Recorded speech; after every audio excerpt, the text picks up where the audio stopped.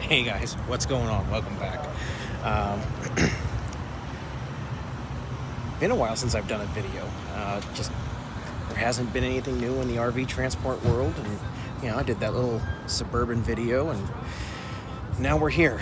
So why don't you uh, go ahead, watch the intro real quick, and then we'll come back, kind of give a little bit of a catch up, and see what's going on here and I'll catch you guys in just a minute.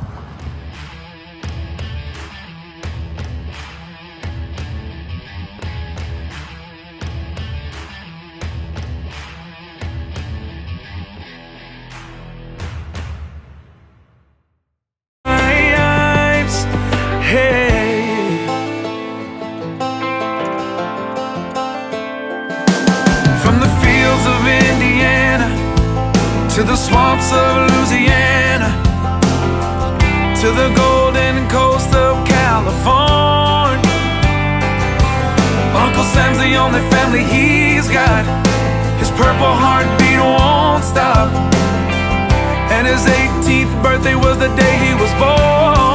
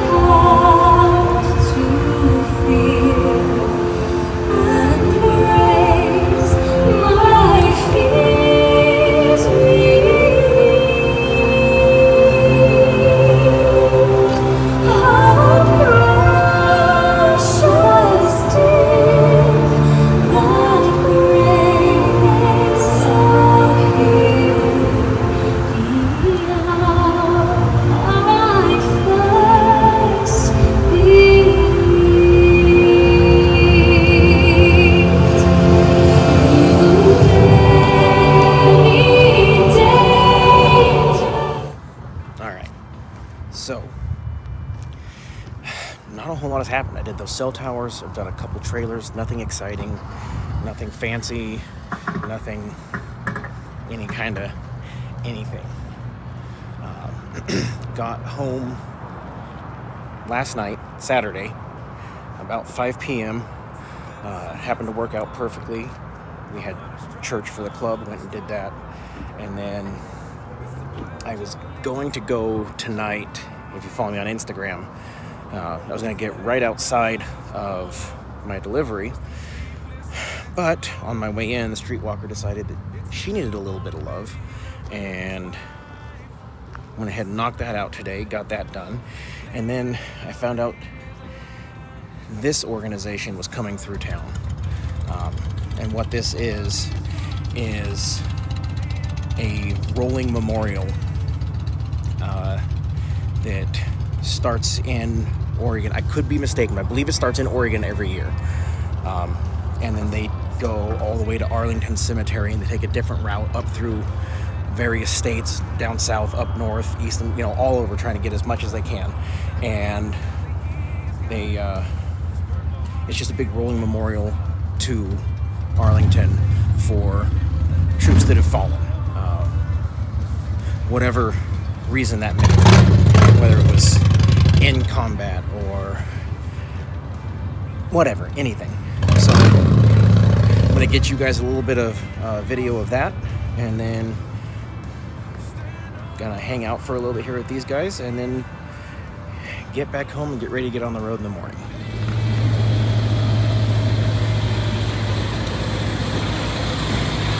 So, these 70 names are the service members that were selected this year for this. And what they do is they contact the surviving family members, uh, whether that be parents, children, spouse, whatever, of that specific uh, individual service member. And depending on the response they get of whether or not they would like their service member put on the memorial on the side of the motorhome here or maybe they don't you know they just they don't they don't want that kind of limelight or whatever which i understand both ways uh, that's kind of how they determine their route because they go through and they stop in the cities of those service members and they get the families to come out and come be a part of it. Um, I met the person who had a service member that's on the wall or on the on the plaque this year, and it's here local to uh, the Boise area. And anyway, I just I just think this is something that's really cool, and I wanted to kind of show it to you guys, something new, something that I haven't really done a whole lot of on the channel before.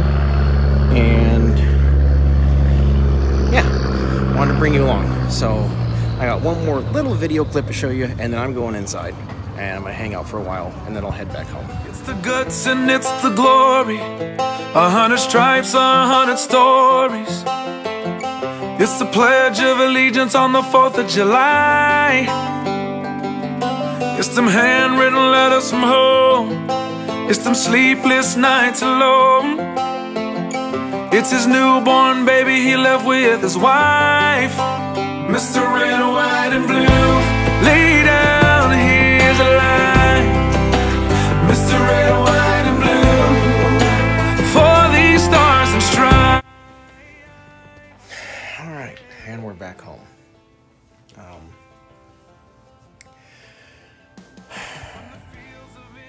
I love doing those events for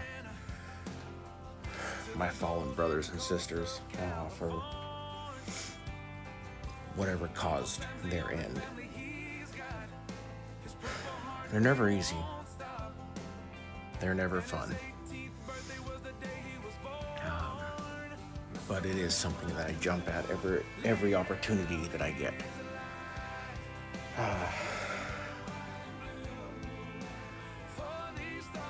I think I've made it my personal goal to maybe next year. I'm gonna try for next year to do that whole ride from Eugene, Oregon to Arlington National Cemetery, whatever route they take. Um, that gives me plenty of time to take the new bike and get it set up ergonomically for what I need. Um, those of you that have been here for a while know that I put thousands into my last bike to make it fit ergonomically what I needed with my issues. And uh,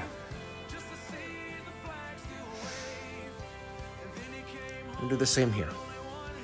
Get this one set up. Will I be able to meet that goal? I don't know. Um, you know, that's going to result in taking a couple weeks off work, which is a financial burden, which I learned with that that camping trip I did in Nevada a couple videos ago. Uh, on top of that, I've got to financially get this one set up, which shouldn't be too bad. Uh, a couple grand. But to me personally, it would mean a lot to be able to make that that whole ride um, from beginning to end. And I don't know. I guess just kind of be there for them. It, it, it's hard to say. Uh, it's, it's hard to put into words. If you if you haven't been there, it's it's a different feeling. Um, anyway, I'm sure that with uh, the soundtrack I'm putting in this video, it's going to be demonetized. But, you know, I don't care. Uh, I think that song is perfect for this video, and if that means I make no money off this video, so be it. Anyway, it's uh, almost midnight. I have to get up in the morning, hop in the streetwalker, streetwalker right outside the door there. She's all set up, ready to go, and get that load up to Washington. Uh, most likely, I won't be able to deliver tomorrow. I'll deliver first thing Tuesday morning, so I'm one day behind.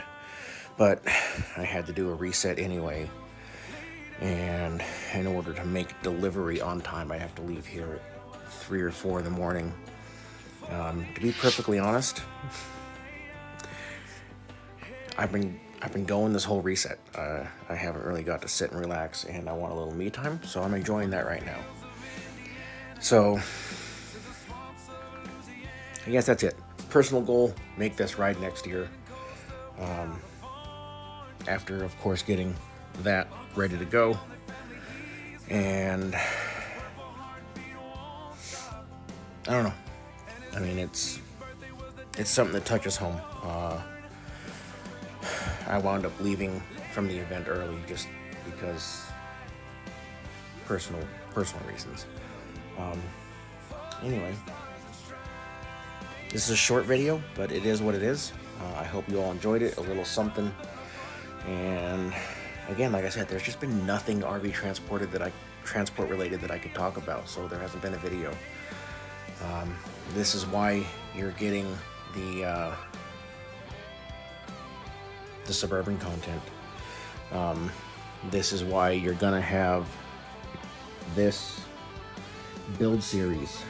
Well, most likely I'll put the build series on the Reset channel. Um, but we've got a couple big trips lined out soon. See if I can make them. We're gonna try. We'll see. Uh, if so, then those vid- those will be videos that go up on the channel. Anyway,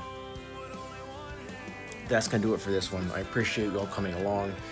Uh, I know that a lot of you aren't subscribed, so if you could, please go ahead and click that subscribe button. Um, if you like motorcycle content, great. This is a 2021 Lowrider S, and we're starting a build series. All the only thing I've done so far is a seat, which is one Phillips screwdriver, so one Phillips screw. So that uh, I I got the luggage rack and sissy bar and put it on, and the exhaust. Um, there's a million videos on YouTube on how to do all those things, so I didn't feel like filming it. Um, but there is a lot of custom touches coming to this that I haven't really seen. I've seen personally, I've seen one other bike that's done it. I I'm going to assume there's more, but so there's some custom stuff coming for this. That'll be on Reset channel. Uh, that is linked in the description in every video. So go ahead and if you're interested in seeing how the build process is done, subscribe there. Uh, the entire Suburban build is on Reset channel. So again, link in description. And that's, like I said before, that's kind of what's going to happen. All my projects, my fabrication, my engineering, that kind of stuff, that's going to be on Reset channel.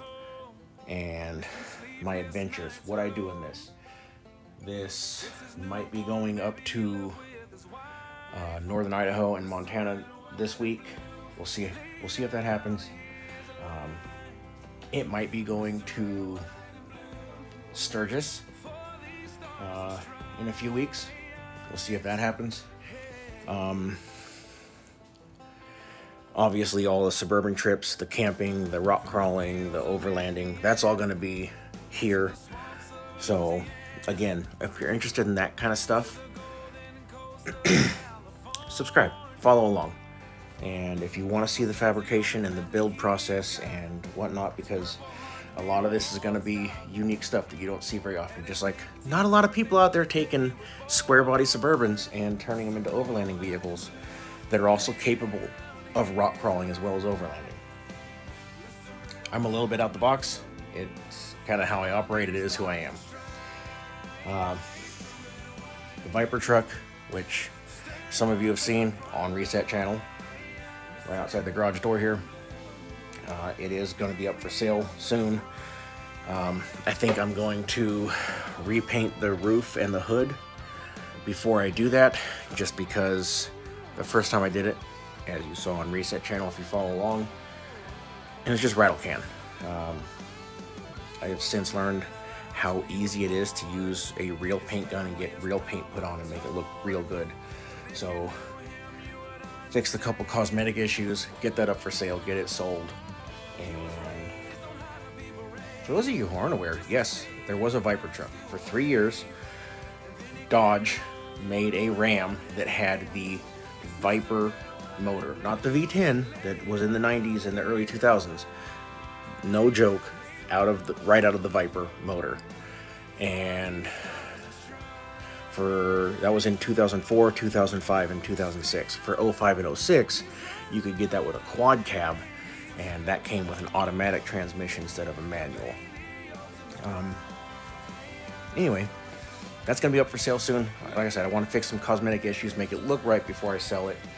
Uh, obviously, that would increase my profit, and being able to do all the work myself um, reduces my expense to get that increase. So, duh. Anyway, that's going to do it for this video. As always, those of you out on the roads, I wish you fair winds and following seas. Take care and have a great day.